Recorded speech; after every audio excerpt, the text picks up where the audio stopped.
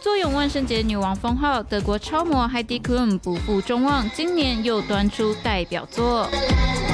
Happy Halloween！找来太阳马戏团展示孔雀开屏，Heidi Klum 身旁巨大的孔雀蛋，正是与她相差十六岁的吉他手老公。What would I even be? Then I thought, oh, it could be cool to be a peacock because a peacock is all put together with his feathers and then he can like spread them out. 多年来，Heidi Klum 不断挑战极限，包括一次送上六个分身，施瑞克里的菲欧娜，以及去年震撼娱乐界的化身巨型蚯蚓，男友称职扮起渔夫，Heidi Klum 竟然直接倒在地上软动。 I just wanted to be something random. I wanted to think outside of the box. I thought a rainworm would be kind of fun. We all know worms, but um, I don't think I've ever seen anyone being a rainworm before. 搞怪的背后其实超费工，替他扮装的特效化妆师都差点想放弃。 This was very hard. I was very claustrophobic because basically they had to tie my arms down in order to be in this position. 但不止 明星爱玩，万圣节变装潮也吹向体坛。马刺队的发级球员斑马把自己扮成瘦长人，但其实身高将近两百二十四公分的他，不用扮就已经是。天使队则请出 AI 把选手大换装，